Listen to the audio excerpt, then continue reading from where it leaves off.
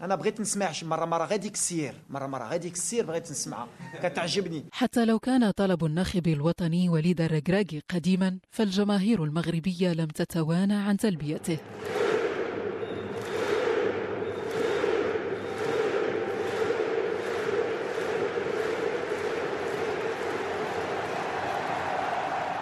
جمهور يعشق الكرة حتى النخاع. جعل من الدوحة وكأنها الرباط وبحماسة كبيرة وروح وطنية عالية رددوا النشيد الوطني.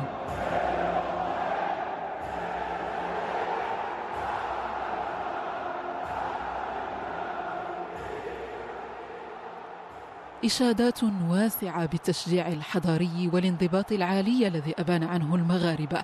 فقد بادروا وللمرة الثانية على التوالي إلى تنظيف مدرجات الملعب بعد المباراة. سلوك أشادت به وزارة البلدية القطرية. هو انتصار تاريخي لأسود الأطلس. زادت معه آمال المغاربة للتأهل للدور الثمن النهائي.